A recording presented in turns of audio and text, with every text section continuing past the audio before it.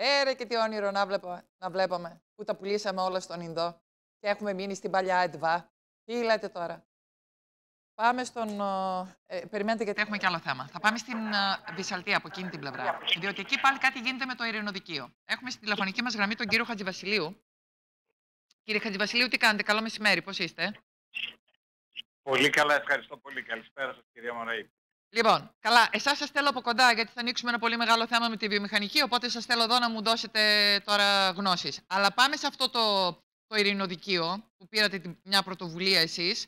Για να σας ακούσουμε, τι ακριβώς πρωτοβουλία πήρατε; Κοιτάξτε, όπως γνωρίζετε, πριν από μερικές εβδομάδες είχε γίνει μια ευρεία σύσκεψη με τη συμμετοχή βουλευτών από όλη τη Βόρεια Ελλάδα, από την εφετειακή περιφέρεια Θεσσαλονίκης ουσιαστικά, μαζί με τους προέδρους των Διερικών Συλλόγων, ήταν και από τις ΕΡΤ και συνάδελφοι, αλλά και ο πρόεδρος του Διερικού Συλλόγου, που μας παρουσίασε το Υπουργείο Δικαιοσύνης στο νέο δικαστικό χάρτη της χώρας. Ναι. Στο νέο χάρτη λοιπόν, τα ειρηνοδικεία της χώρας μας καταργούνται τυπικά και γίνονται περιφερειακά πρωτοδικεία, δηλαδή κοινώς αναβαθμίζονται για να συνεπικορούν τη δουλειά των πρωτοδικείων των μεγάλων πόλεων. Ωραία. Στις αίρες λοιπόν, όπως γνωρίζετε, υπήρξε εξέλιξη από το Υπουργείο Δικαιοσύνης να διατηρηθούν τα ειρηνοδικεία Σιδηροκάστρου και ροδολιβους και το ειρηνοδικείο της Νιγρήτας να καταργηθεί εντελώς. Να μην δηλαδή μείνει σε λειτουργία και να αναβαθμιστεί σε περιφερειακό δικαστήριο.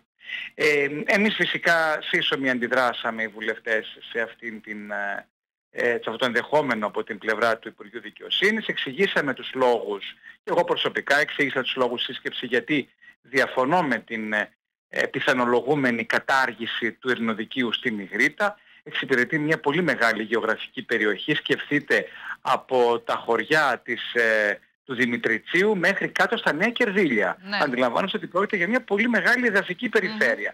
Συν της άλλης θα μπορούσε το δικαστήριο αυτό πρότεινα, εφόσον αναβαθμιστεί σε περιφερειακό πρωτοδικείο, ενδεχομένως να εκδικάζει και τις υποθέσεις, τις μικρές υποθέσεις αδειών ή διάφορα άλλα βουλεύματα Σωστά. των φυλακών της Νιγρήτας. Σωστά. Ούτως ώστε να αποσυμφορηθεί και το πρωτοδικείο της πόλης των Σερών από ενδεχόμενη ύλη. Δεν είμαι νομικός, αλλά κατέθεσα προτάσεις, κυρία Μωρίτη, ε, Ωραία. καθαρά με βάση την κοινή λογική. Ναι, Η τώρα, κυβέρνηση Για πείτε μου, γιατί εδώ μας διαβάζω. είπε ότι και το κτίριο του ειρηνοδικείου της Νιγρήτας είναι κατάλληλο με βάση τα ευρωπαϊκά πρότυπα το οποίο θέτει ο νέος νόμος. Πράγματι, το κτίριο του δικαστηρίου στην Νιγρήτα δεν είναι ένα, δικ- ένα κτίριο το οποίο μπορεί να στεγάσει μια σύγχρονη δικαστική δομή.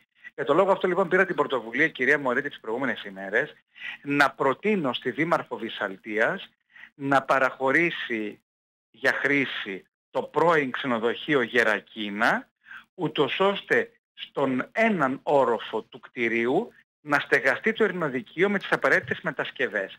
Η...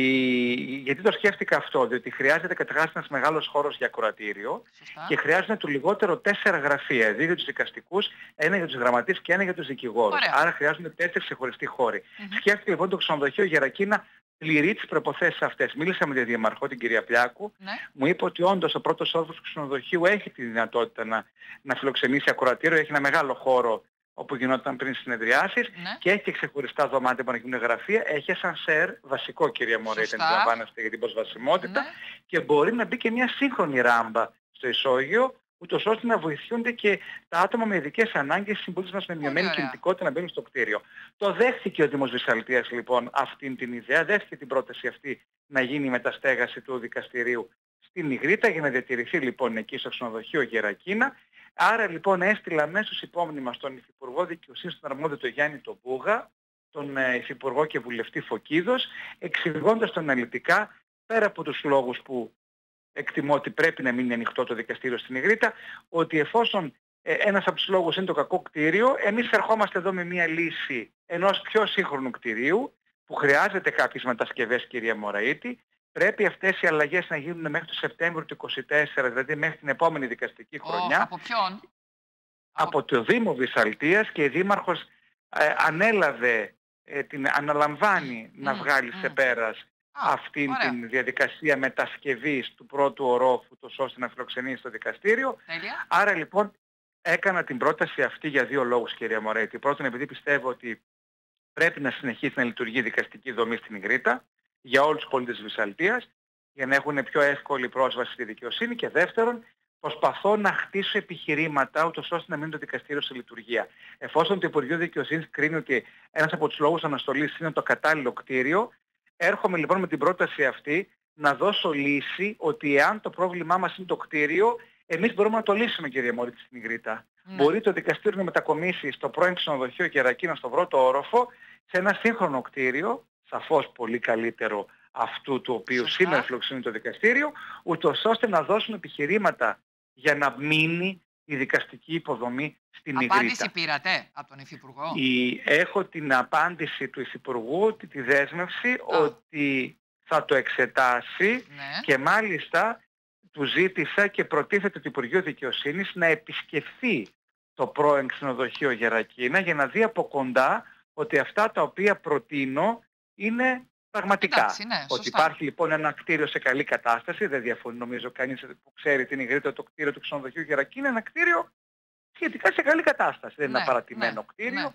όπου μπορεί να στεγάσει με μία μικρή μετασκευή στον πρώτο όροφο ένα σύγχρονο μικρό περιφερειακό Ωραία. πρωτοδικείο. Άντε, τώρα... Χαίρομαι που το Υπουργείο Δικαιοσύνης άκουσε την πρόταση αυτή και θα την εξετάσει προσδοκώντας και εγώ να βρεθεί λύση και να μην φύγει το δικαστήριο από την Ιγρήτα τόσο απλά, τόσο ξεκάθαρα κυρία Μωρέη. Θα σε ευχαριστώ πάρα πολύ κύριε Χατζηβασιλείου.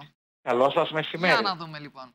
Λοιπόν, ναι, είχαμε κτίριο. Γιατί δεν τους το δώσαμε από την αρχή, γιατί δεν το κάναμε πιο παλιά αυτό, γιατί πρέπει ντε και καλά πάντα στο και πέντε να τρέχουμε; Για να δούμε πώς θα αντιδράσει τώρα το Υπουργείο και αν θα έρθουν εδώ για να δουν το ξενοδοχείο και αν μπορεί γρήγορα να γίνει μέχρι την επόμενη